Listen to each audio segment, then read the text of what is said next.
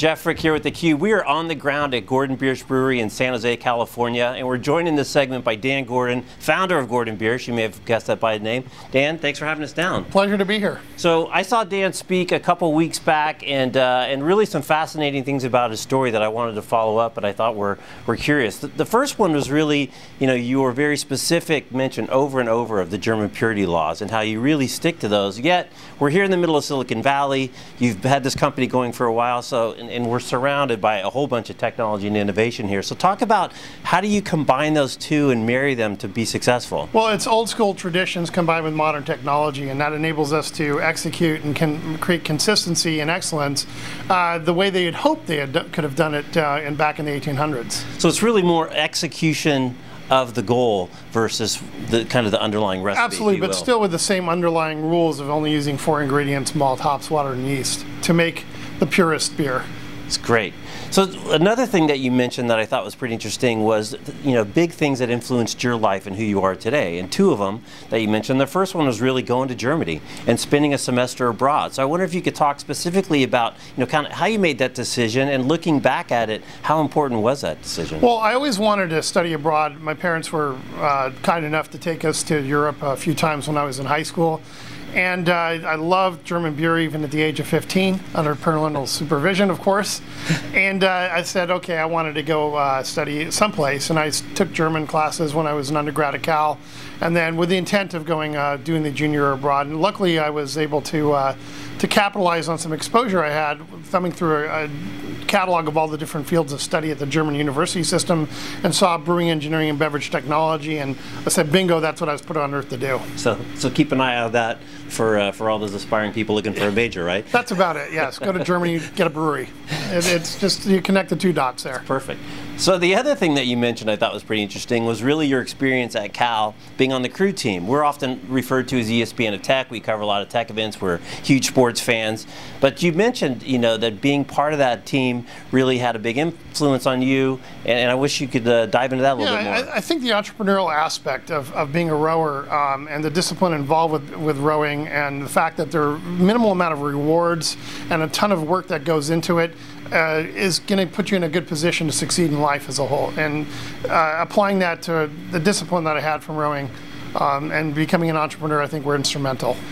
So uh, the other funny thing you mentioned was as simple as the four uh, ingredients that make beer. There's a whole lot of heavy-duty science that goes on behind the scenes, and we're surrounded by beakers and, and, and microscopes and all kinds of things. So I wonder if you could talk a little bit about how that works out. It's a very simple formula, and yet the science behind it is not simple at all. Yeah, there's a lot of biochemistry that goes into uh, brewing, and it starts off biochemistry and I say microbiology are the two uh, foundation uh, scientific uh, disciplines that are involved in brewing. Uh, from the time that you're harvesting the barley to uh, to creating it into malt, which involves uh, harnessing the power of enzymes that are naturally occurring in the malted barley, um, to to the yeast as our most important employee, and creating the flavor profiles that are signature to German style beers. Um, all of that ties in very uh, into a complex network of, of science that, that we apply towards maintaining consistency and adapting and creating this, the real high level of consistency and flavor profiles that we need in brewing. So were you already a science guy, or did the beer drag you in? I was a, a geeky science guy. I went to Homestead High School, and we had an amazing physics and uh, and math uh, science background there. The teachers were incredible. A lot of Stanford and Cal uh, instructors that were doing a, a, labor of love by teaching there, and I was very fortunate to have an exceptional background starting at that at an early age. And give a little shout out to the Mustang, some of the other uh, great Mustang alums from that era. Go Tangs, you know, yeah. yeah I'm, I'm, probably number four in the, the hierarchy of, of the success uh, factors for the for the people there. Jobs and Wozniak, I think, uh, are leapfrogs, uh, you know, ahead of us in, as far as success goes, right? And who's number three? Um, Bob's Golf. Bob's Golf, there you go, that counts.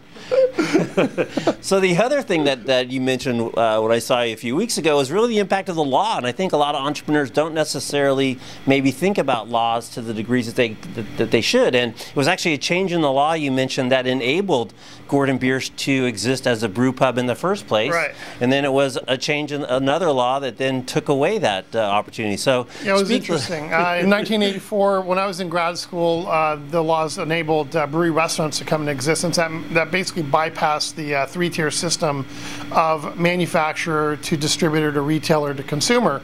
So those are the three pathways that are, are, are generally required. And uh, the law changed in '84 to allow a brewery restaurant to sell directly to the uh, consumer in the over the counter, more or less, in the form of draft beer and that was uh, enabled us to, to, to, build our first brewery restaurant in Palo Alto back in uh, and open, in 1987, opened up in 1988, and then subsequently they uh, the distributors lobbied to change the laws again to allow hard liquor to be served, and at the same time they limited the number of brewery restaurants that you could own. So we ended up getting throttled back and split the company into two. So you've been at it for a while now. So if, when you go to Cal, I'm sure they have you over there quite a bit, and you, and you look out over the uh, the young entrepreneurs. You know, with the benefit of hindsight, what are some of the tips and advice you give to the, the guys well, n- number one, whenever I'm, I'm speaking to uh, to business school students and entrepreneurship students, is uh, primarily you got to get hands-on experience. It's amazing how naive the youth of America is in thinking they can grab and just jump into a uh, venture without having done any homework and any uh, due diligence as far as getting hands-on experience. So that's number one. And they're all drinking beer, so they got they. They, everyone's a beer expert, right? At the age of 16, you're a beer expert that's these right. days.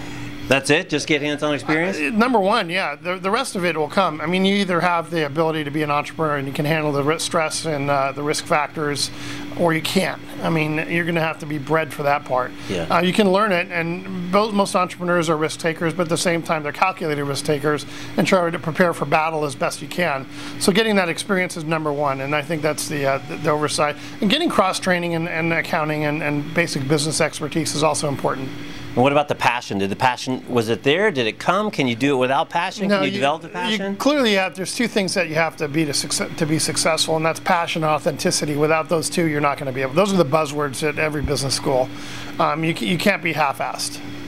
So Dan, thanks for coming on. Any uh, any final thoughts before we sign out here? We're going to go over to the tasting room. It's five o'clock somewhere yeah, uh, over we, here. We have a lot of tuition payments in the Gordon family, so please uh, drink a lot of Gordon beer. beer. All right, great. So again, Jeff Frick here on the ground with Dan Gordon. We're in downtown San Jose at the Gordon Biersch Brewery. You're watching the Cube. Thanks for watching.